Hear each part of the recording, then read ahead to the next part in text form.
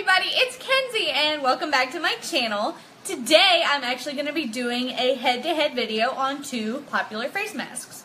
I know I realize I look like a sewer rat today. All I have on is eyeliner and my brows are filled in, but everything else is just been, it's, it's just been kind of a lazy day today.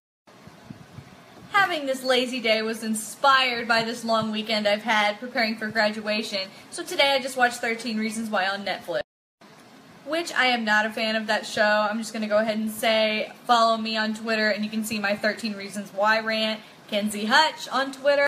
So anyways, I got the inspiration to do this video. I have these two face masks that are often competitive on the internet.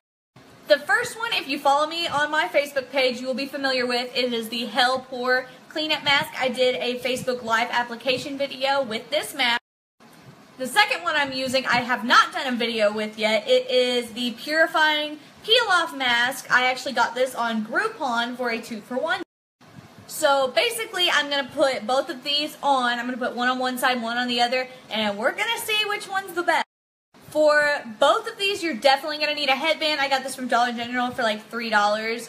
Um, these masks will rip out your hair, so make sure it's all... It's my little Carl. Say hi. He's my baby. He's my baby. After you get all of your hair out of your face, um, wash your face really well because it actually pulls product better out of your face when your face is clean. So the first mask I'm going to apply is the Hell Pore Cleanup Mask, and I can't read the directions because they're all in Korean actually. But I looked them up, and all you have to do is apply it to your face, wait for it to dry, and then peel it off. Easy as that. So first off, just about this product, I want to say I love the packaging. The cartoons on it are adorable. They did really well. I just think this is so cute.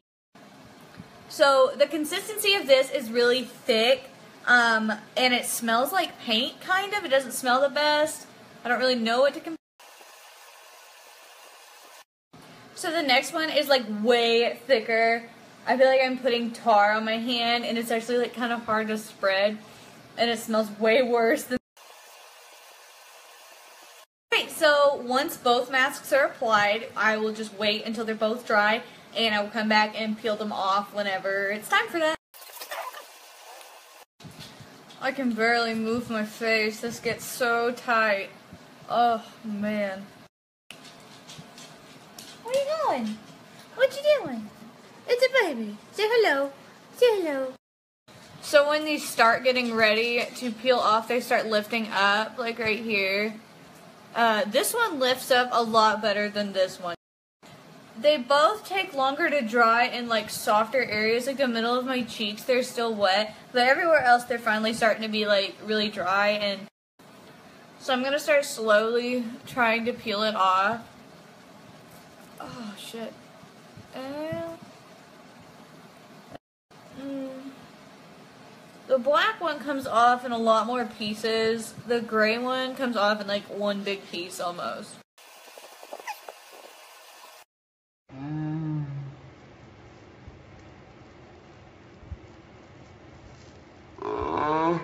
it's like the worst. No, the black one doesn't lift up near as much. Oh, God. The black one hurts. The black one definitely hurts way worse than the other what makes this one hurt so bad is that it pulls up all of like the hairs on your face, like the natural protective hair. So if you do get this black one, I do not suggest using it very often. Oh my goodness. Ah! My cheeks are so red just from that. Oh my goodness.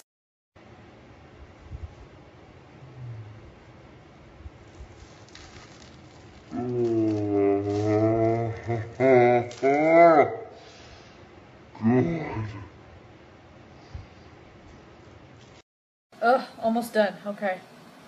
Ow. Ooh, that wasn't so bad. That wasn't so bad. Right next to the hairline really sucks. Like through by my eyes. Oh man, that hurts.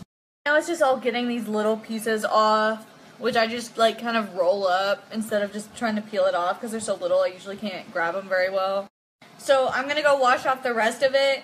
Um, this side feels a lot softer, but my cheeks kind of feel a lot more irritated.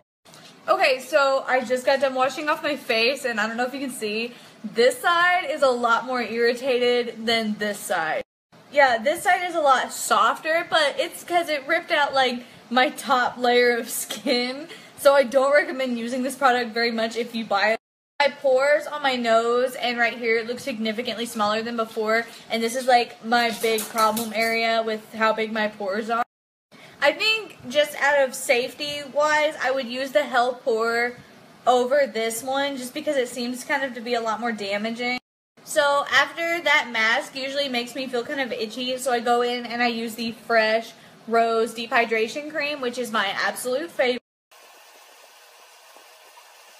Yeah, but that's basically it. So out of these two, I definitely recommend the Hell Helpore Cleanup Mask. I feel like it's a lot more gentle on your face. Shill's Peel Off Black Mask, I definitely don't recommend using it very often if you do get it because you will tear up your face.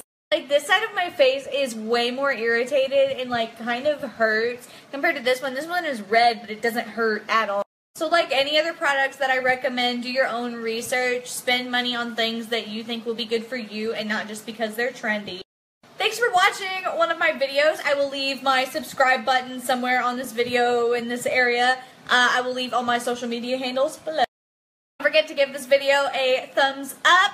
And don't forget to and neuter your pets. Don't drink and drive. All that good stuff. Thanks, guys. Mwah.